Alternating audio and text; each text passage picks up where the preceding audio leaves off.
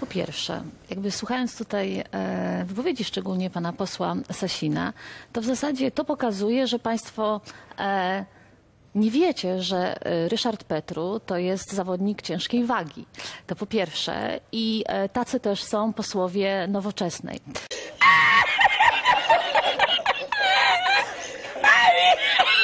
Tú y yo con el bañado, con el bañado y la.